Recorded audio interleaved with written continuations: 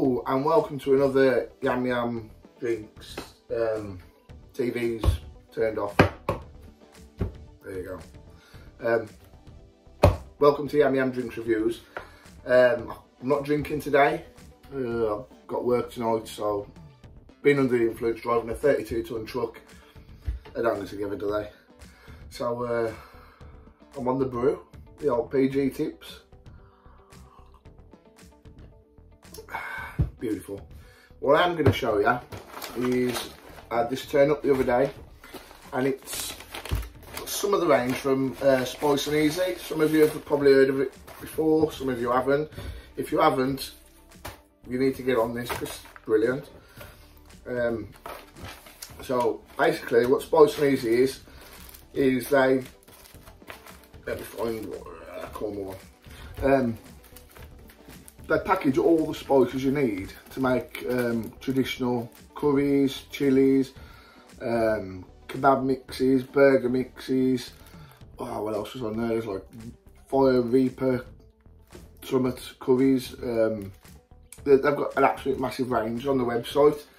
Um, if you want to check the website out, it is uh, Spice and Eazy. Make sure you spell the easy with a Z, not the S, because it'll take you to a different site. So, um, I've just picked up a few off their website the other day. They've actually chucked an extra one in, so if you're watching, thank you. I'll be trying that one. Um, but yeah, you order it, and this is what you get. You get a package, and in that package you'll have all the spices you need to make the korma and this one actually contains two two packets. So your cardamom seeds stuff like that. So you'll have them two. And then you'll also get um, leaflet in the back telling you exactly how to, to use it and how to cook. So it'll have a list of ingredients. Um, so obviously your packet, which is all your spices, it'll have stuff like what meat, like your, your meat, your onion, stuff like that. Simple things you can pick up from any store.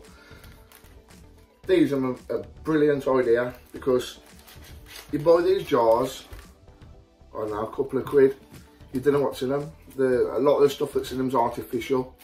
This ain't. This is the real deal. This is the spices, like this is this is the real thing. Um, the jars, there's a lot of artificial flavours, you don't know what they're chucking them to preserve them and everything. Um, but I'd say these work out probably cheaper than, than the jars. So get on the website, give them a look. I'm going to run through a few items that I've picked up off there. Um, they have also got um, YouTube channel uh, where they do kind of reviews and stuff on there if you want to check them out.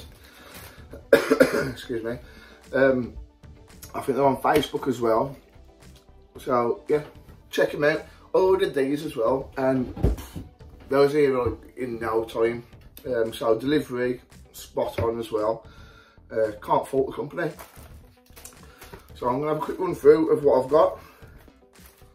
So I've got um, lamb kebab mix. So obviously get your, your, your mincemeat and chuck all that in, mix it together. Also comes with the instructions on what to do. Um, the one I've just showed you, korma mix. I've got uh, a burger mix, which I think is the one they threw in, so thank you.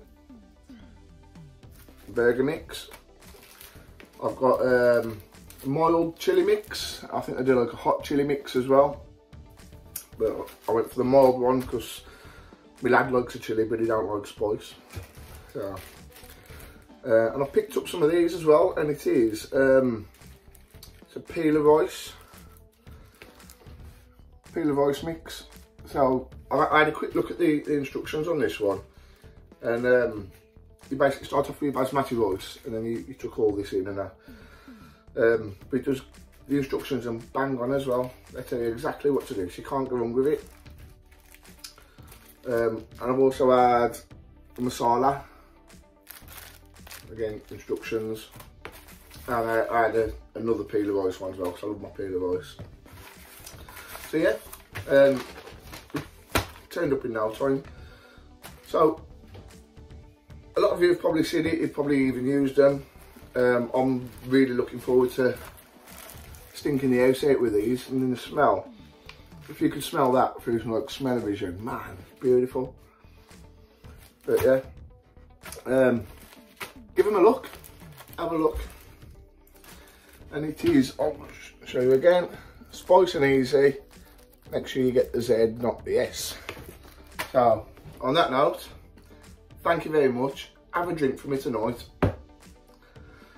Um, cheers guys.